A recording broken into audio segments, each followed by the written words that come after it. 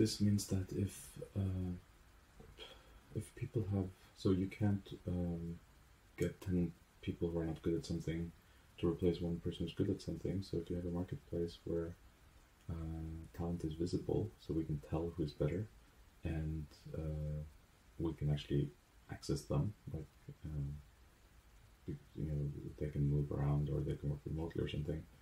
Then even a small improvement in talent will yield um, a big outcome in the marketplace that will be much more valuable. Yeah. Tension residue was Sophie Leroy. Yeah.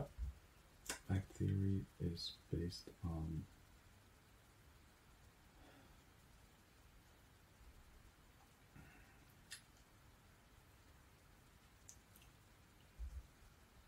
Yeah, of course. Okay, I should probably put a Q here. Um, maybe I need to add a way to flag cards because um, I did remember that it came from this theory, but I thought the question was was asking what were kind of the, the design principles, and that I don't know. So, okay.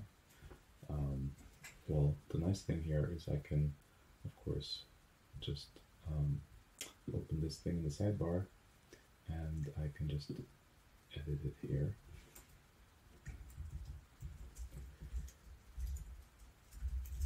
So I'll just yeah.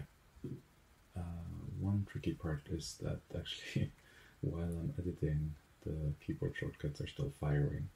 So I might need to attach the keyboard shortcuts to this part of the screen.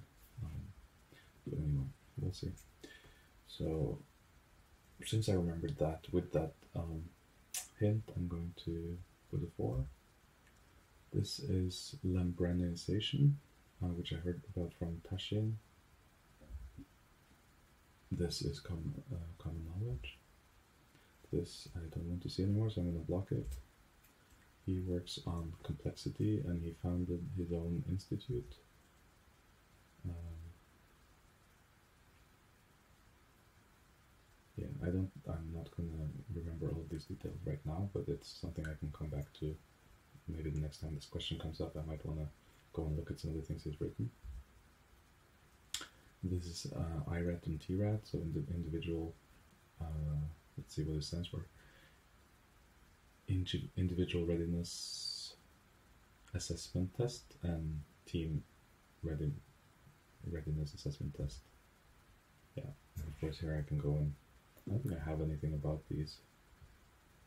Um, but I see here that I, I talked to a friend about them, so okay, so four. I'll block this and this.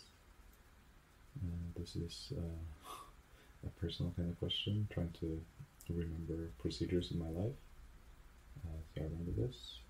I'll block this. I remember this. This is uh, computationalism. I'll this.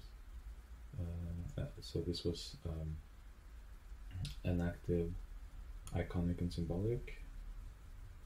Yep. Cognitive load was John Sweller from Australia. Of course, I can open this page, and oftentimes if I don't remember, I will um, open this link and um, add some more details. And this is why um, I really like doing these reviews in Roam.